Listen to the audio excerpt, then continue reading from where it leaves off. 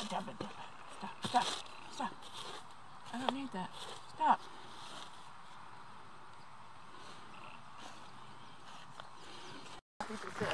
Better or better.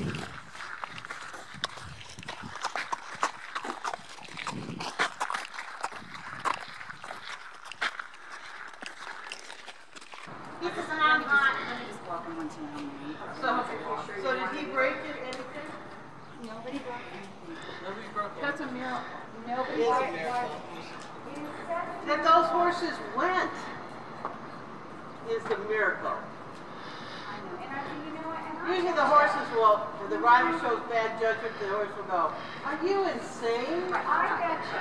I oh, betcha. Oh, oh, you have to get. I betcha that if Walter said to me, oh, Jimmy started to act up, and I know how Walter responds.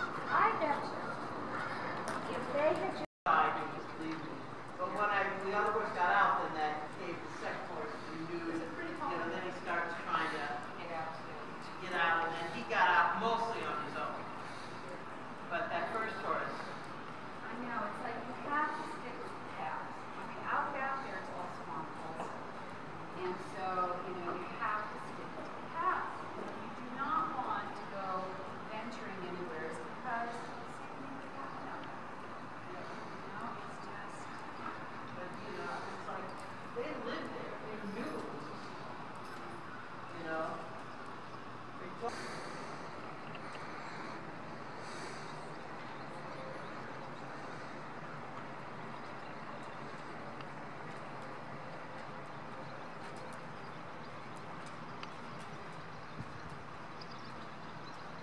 Yeah.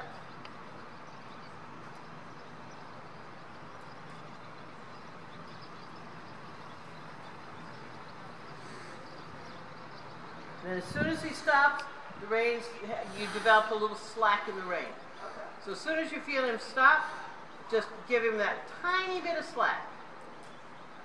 So you start getting a real fine feeling with your contact.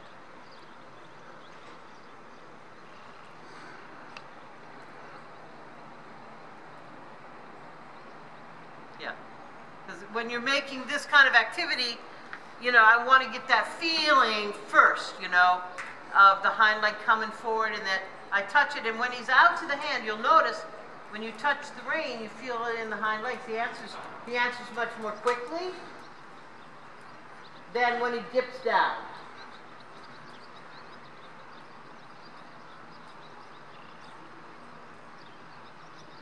Yeah. Good boy.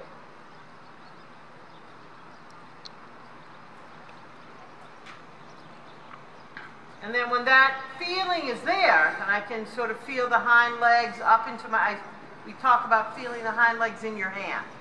That's the feeling that you get. There's like a quick response to, yeah, like that, yes. Good boy. And that fine feeling, when we, start to push the horse for more activity, we want to re- re- maintain that fine feeling. And then as you maintain that fine feeling and you get the horse active with the hind legs and in the right balance, the roundness will start to come on its, you know, kind of as an automatic on its own. And get the hind leg a little active. And then you can use that activity of the hind leg to, to play with the energy. Any, you know, if I want to do something in the hand, it has to come, yeah, from the back first, and then when the, all the energy comes through, then I can play with it. If there's, if I don't push it forward, then I, and I start to play, he'll get behind you. That makes sense. So you always want to, and, and Hank's quote, and it's really true, if you have trouble in your hands, Yeah. it means you have trouble in the hind legs. Uh-huh.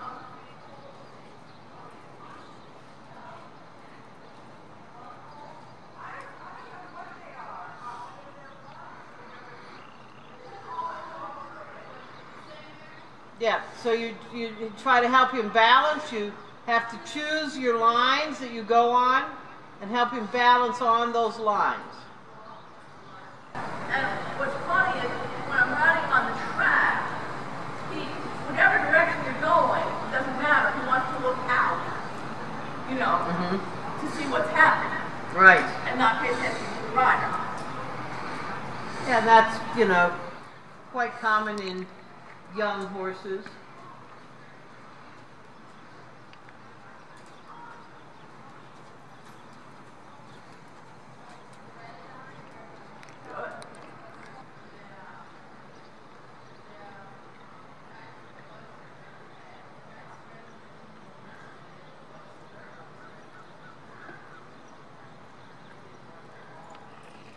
And then you look for a, a nice rhythm for the horse that he can manage. Because the, the thing with the young horses in the beginning is they're not strong enough to lift themselves and place themselves forward.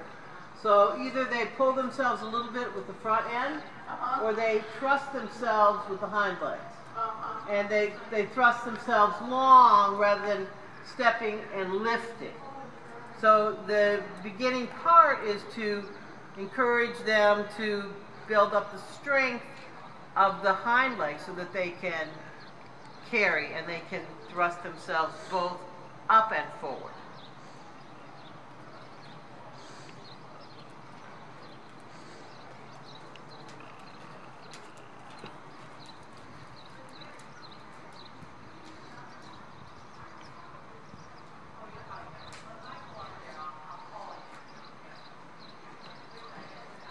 And then you want to start to get the sense that you feel your action of the hind legs into the horse's mouth. So the action or the, the, the impulsion will travel up the hind leg, across the back, down the, down the neck, and you'll feel it in your hand. And when he drops that connection, drops the back, he'll bring the head up and he'll disconnect from your contact. So we try to keep the contact even. We keep the bit centered in the horse's mouth, right and left. And then we use the leg to press the horse forward to meet that contact. And then we regulate what we have up there. We regulate that tempo to whatever the, the horse can manage at you know at their stage of training.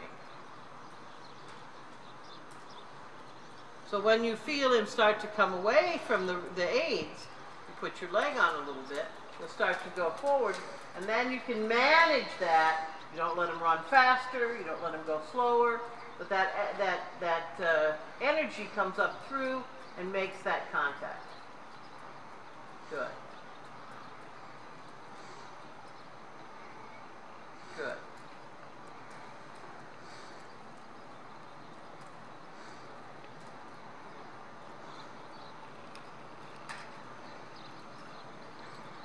And sometimes in the beginning, um, when you have a young horse that has a lot of energy, that that's sometimes hard to manage, not because the horse is bad or because he's not doing well. It's because there's so much energy in the youngster, and they don't, they can't carry themselves so much, so they push themselves along, and they can get quite strong in the hand simply because of the quality of the of the horse's movement. So the things that you want to do, you want to sort of make sure that the horse has his ABCs. That's go when you say go, stop when you say stop, and turn when you say turn. So you've done, you know, the uh, feeling of the contact forward. With that feeling, you want to ask the horse to stop. When I ask the horse to, to stop and I close my fist on the, on the reins, if the horse dips down and falls behind me, then I've lost the hind leg. So I want to ask the horse to stop, gently, whoop, whoop, just gently. And I should feel him start, you know, if his nose starts dipping down, then I, my contact is a little too hard for it. Yeah, like that. Then you walk forward. So you want him to sort of keep his nose forward and into your hand. Okay. So that feeling that he's forward and into your hand is going to be important, and you'll get him rounder and more down, but you just want him to do it forward and into your hand. Good. Okay. You see what I'm saying? Yes, I do. So if, and if he's harder. Yeah, yeah, if he doesn't stop and you pull harder, his nose will under. his nose will dip back. He'll go down and he'll fall more to the forehand. So I don't want to go to that point with the way I use my contact. I just want to try to, and I expect that the horse stops on a light rein. And when I expect it, I'm going to ride to that end. If I think he's going to be hard and I ride with the harder eight, I'll always be harder. Like right there, you see how he wanted to go a little back, so then immediately I soften the rein, and then I touch him again. Get So, yeah, to, uh, to get his, to keep his nose full, out to your hand.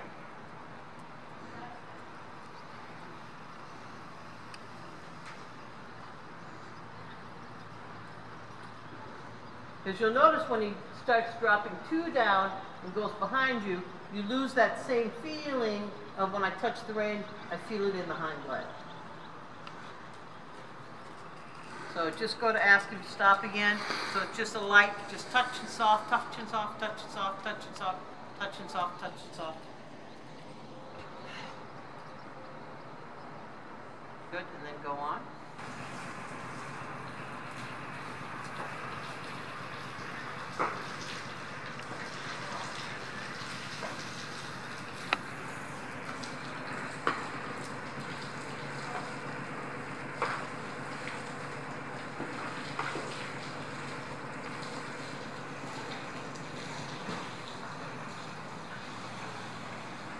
And you can you can come all the way back to the halt if you need to or want to. Until he's that, that you're developing this real sensitivity, you know what I'm saying? Yeah. To that to that answer of, of your rein. Yeah. And do it right, do it left.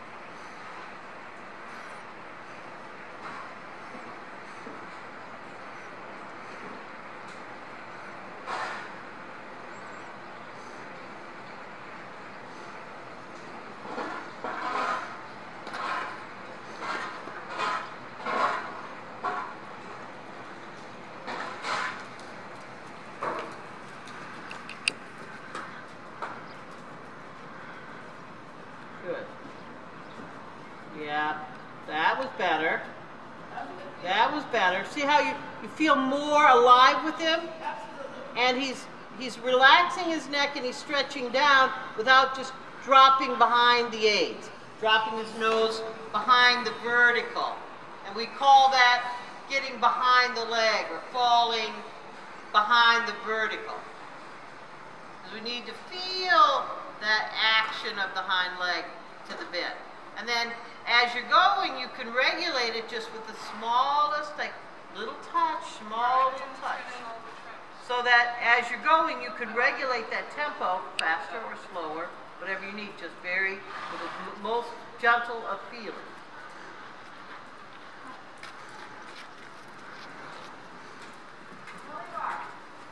So careful your rein doesn't get too loose and bouncy. So has, you have a little bit of connection there. That the rein doesn't dangle, because then it makes a little snatch. So it's just a gentle but elastic connection to the mouth. Good. There his nose is nice forward. Now you test it. Good. Exactly.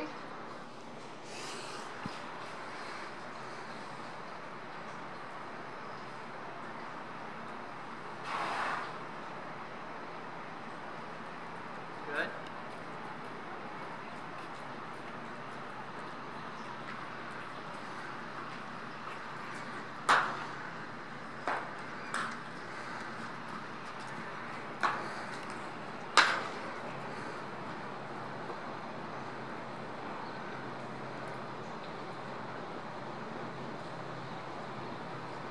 And then, you know, go to the other side again.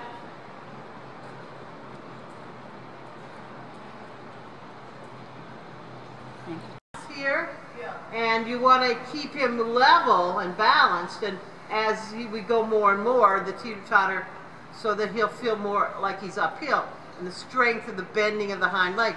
But right at that moment, when he tips over the front, the weight travels too much to the front. He curls his nose back and falls onto the forehand. So all the pulling in the world, all the weight is in the hand, and he's just going to curl up more and more. So you have to push him back forward to get that front back out, rebalance, and make that transition again. And it always is kind of this way, like a teeter totter. Some and some horses are more down in front, and some horses have a more balance. This horse has a better balance to the hind leg. In fact, he's a little more down in front. But doesn't matter. You have to ride them the same anyway. One just happens to come out a little easier than the other. Well, he's high in the back. Yeah, he's a little bit higher in the back.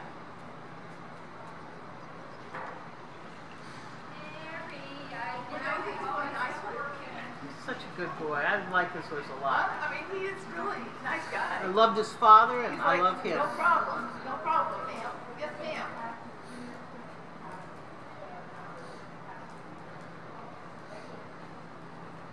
And he's chestnut. Practically all the horses in our barn are gray or chestnut. We used to have a lot of bays and blacks, but they're disappearing from our. Suddenly you've gone chestnut. Suddenly we've gone chestnut, yeah. It used to be the bay horse troop, and then it was the black horse troop. Now it's the chestnut horse troop. Thanks, and I don't like chestnuts, and, and now I've got three.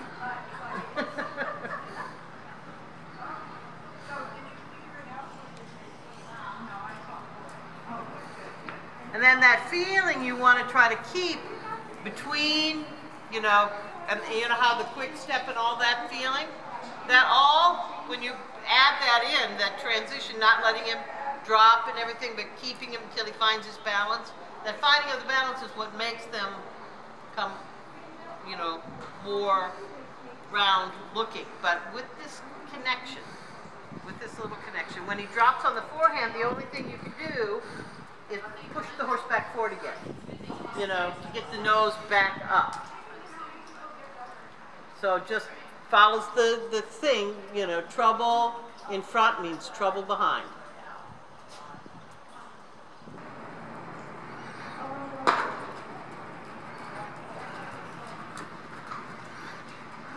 And then come closer to a more collected trot and try to keep that fine feeling in your hand. Keep the hind leg active so it keeps that rhythm. So you have to ride your rhythm because you can feel how he wants to kind of push himself along. Yeah. And so he has a kind of a one speed kind of guy. That's right. So yeah, exactly. That's right. Good. Good. And this is the harder thing for him to do right here than going faster. Going faster is actually pretty easy for the Uh-huh. horses. So find your rhythm. So make it posting if you have to to keep that rhythm. And then keep that feeling out to your hand, that elastic feeling, that's better. Thank you, Mary, for letting me watch for.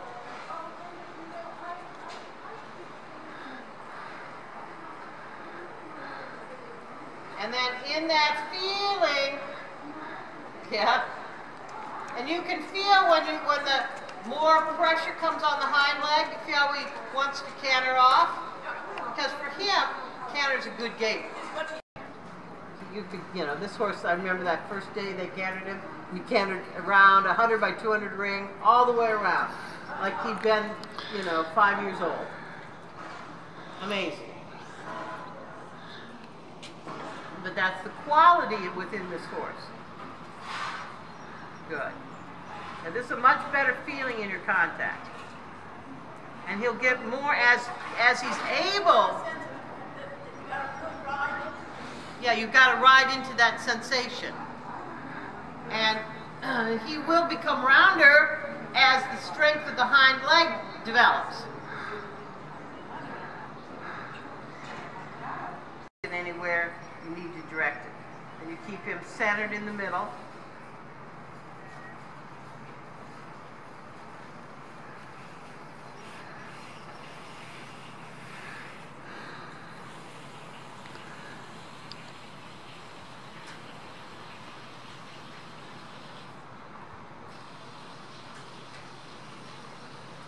Yeah, like there's a good feeling in your contact. There's a nice answer. You feel, yeah, and, and right there you could even take the rein back. You could feel it because he was right there. And in the rein back, we don't want him. You know, a lot of people pull the horses back. When they pull the horses back, they curl the neck up. The horse backs up, and he backs up, and he drags the front feet back. Well, we want the horse to stay out in the hand, and we want him to step back with each foot. We want him to pick up and step back, not drag back. So you're pulling back, you close your leg, and then you don't allow him to walk forward. And then when he takes that step back, then you relax and you quit pushing, and you push again for the next step. You don't pull, you push.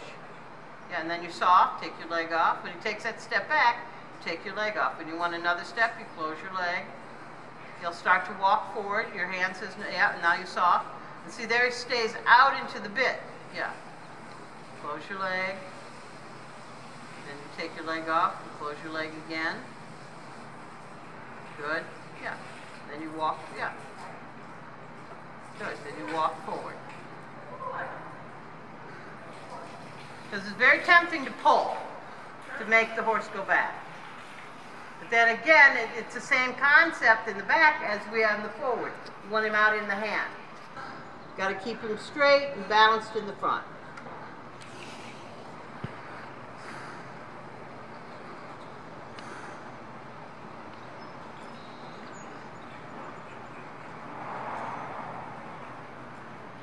That's right.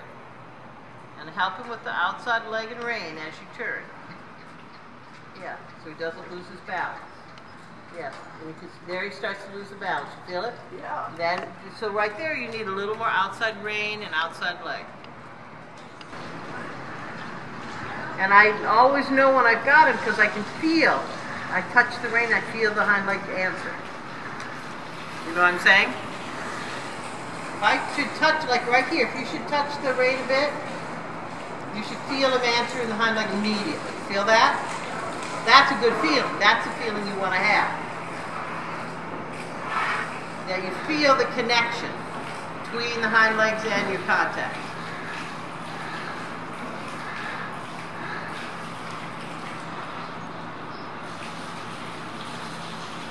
And then it gets really refined and quite soft. You know what I'm saying? But it's pretty soft all the way through. Mm-hmm. That you want him to connect to it. Yeah, and answer the leg. And then we look for that reaching out to the hand. So when he reaches out to the hand, the also the thing that he'll do is he'll lift the back slightly. So for the rider, that connection between the hind leg and the hand, when the horse reaches for the hand, the horse's back will rise slightly up as the hind leg comes under, and you almost get the sense of being lifted in the saddle the slightest amount. If you're very sensitive, you don't clamp anywhere, you stay nice upright, you get that sensation of the contact between the hind leg and the hand, you feel the saddle underneath you. When the horse is up, when the horse pulls his head up and gets behind, you feel the saddle drop. When the hind leg starts to work and he starts to relax down, you feel the saddle lift. So not only will he be soft in the contact, but he'll also, you'll find the back, the connection, the bridge coming. The bridge between the hind legs and the mouth.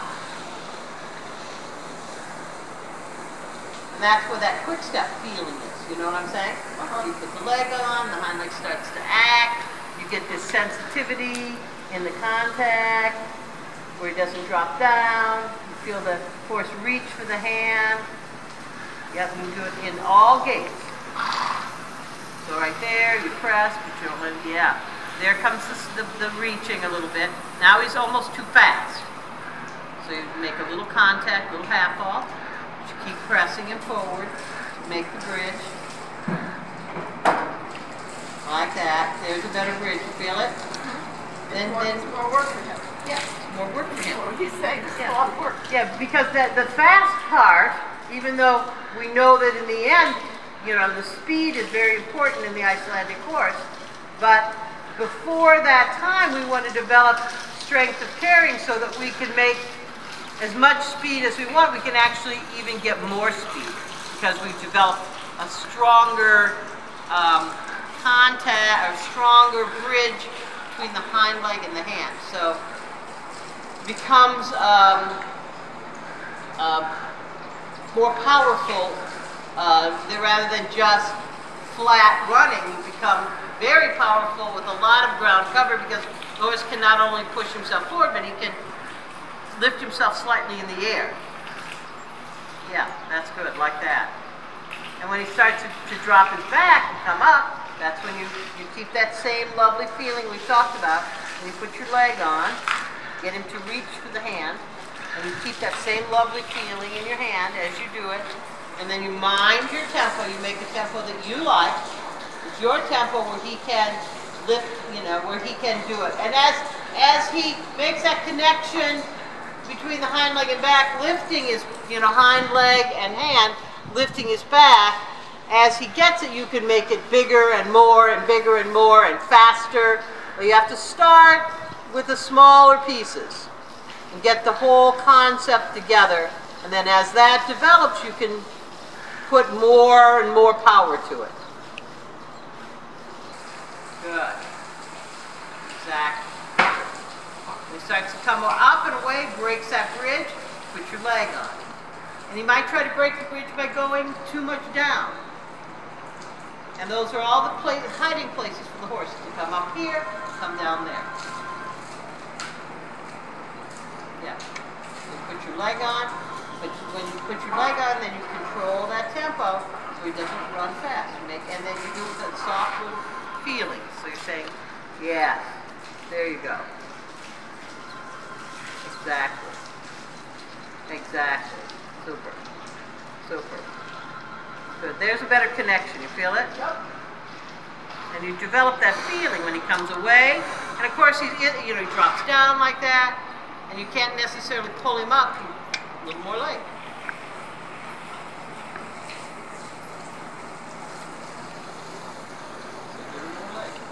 So there'll be, a, there'll be, a, you know, there'll be hiding places above and below. Keeping him right at that exact place is, is, is the tough part of it. That's why it takes so long. Yeah. Same thing in the tolt. Doesn't matter if you're walk, trotting, cantering, tolting. The same feeling, a sensitive feeling.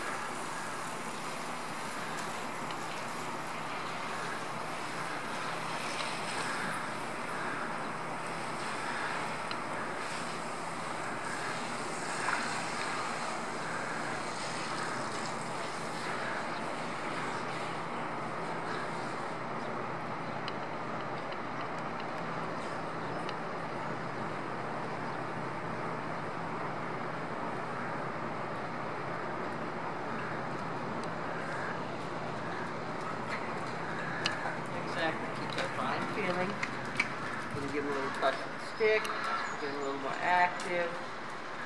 That's right.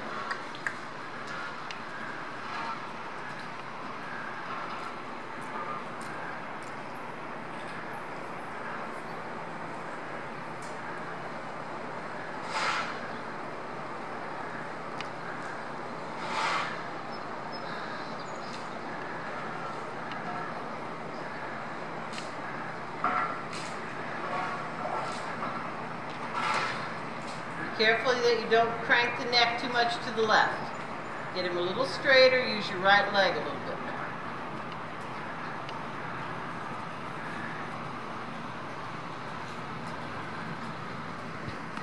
Yeah, so you need a little more pressure for, can you feel how he's skidding around in the tolt? Yes, yes. And that's because he's losing his balance through that outside. And you can't you can't find it by pulling him back to the left. You have to counterflex him slightly and put your right leg on so that he doesn't lose the balance in the front feet. And right leg a little more up, helping the shoulder. Not too much back with your right leg in, in that in that correction. That's right. Then off the wall.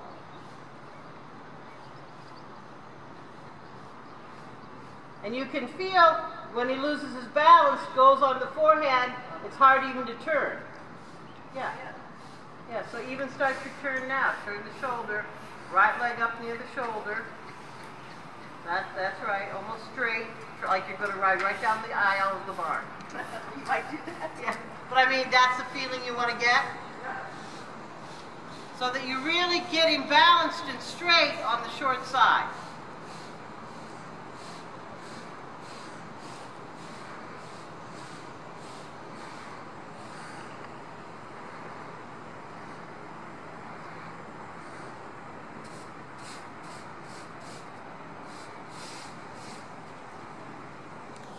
So that, you know, because you're kind of letting the wall turn you, you want you want to be the one to turn. So turn early. Don't let the wall turn you. Turn now. Yeah. Got to turn on your aids. There you go. Yeah, that's right. Good. Turn. Yeah, you feel what I'm saying? As Soon as you let, as soon as you let him find his balance and hug the wall, that's that's great when they're they're not that broke, but eventually they have to come away from the wall and come onto our aids. But that was a nice turn up here. And then after you got him straight again. But when you plaster him against the wall like that, then he's not really, you're not really balancing him on your aids. You're just, you try to make the tolt and just stay on the wall, which is okay maybe for the beginning tolt. But now you really want him on, you wouldn't want him between your aids. You want him on your balance. Yeah. And he tolts pretty well. Yeah, do the other side after, you know, after he has a walk.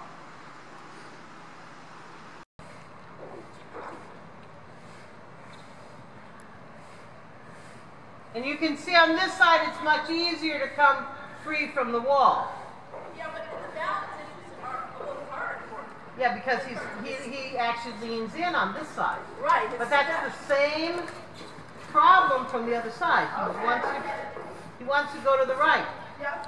This side in, the other side out. Good, that's better.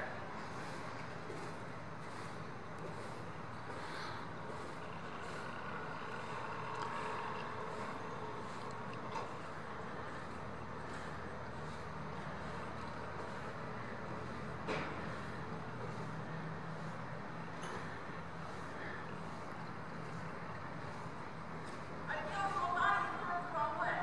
Mm-hmm. Yeah, he wants to, you can feel how strongly he wants to fall on that right shoulder. Yeah. Yeah, so you have to use your right leg. Just like you had to use on the other side. You have to use your right leg.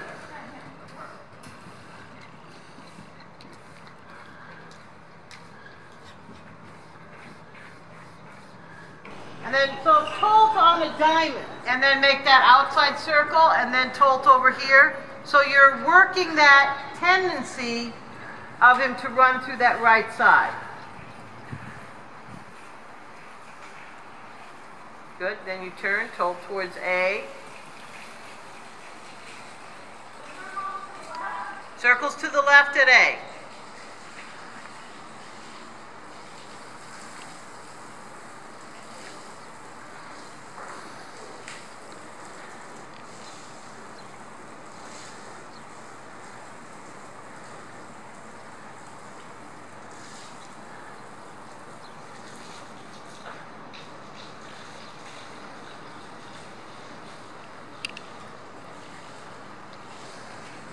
Yep, and then circle left here.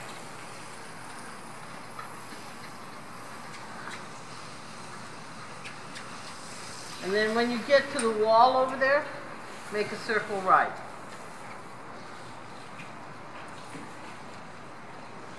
So right there, circle right.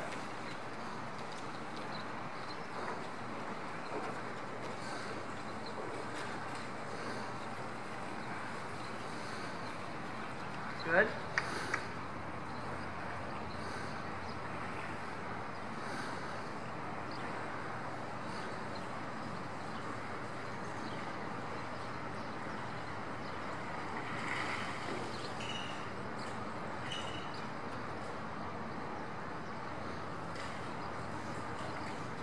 And then right there, circle right.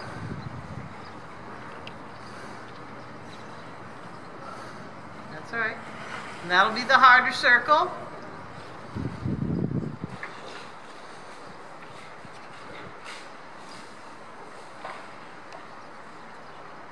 Good. That's better. Yep.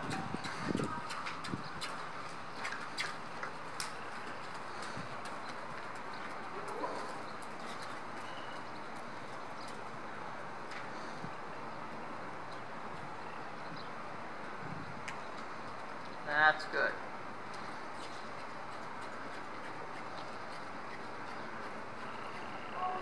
That's right. Because he really has himself right and left here. He's not, and when you make an exercise like this, you break up that straight line where he just starts hanging.